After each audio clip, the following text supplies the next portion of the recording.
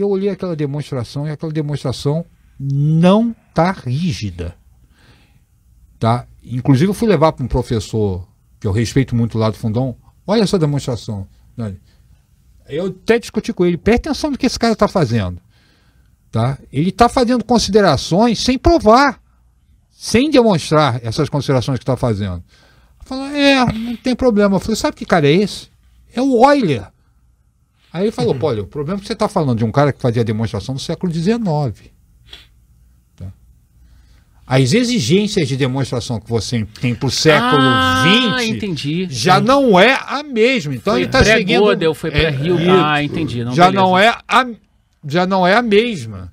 Entendeu? Você vai falar, se você olhar com os olhos de hoje, você vai chegar à conclusão que Euler não tinha rigidez. Sim, é, é anacronismo, né?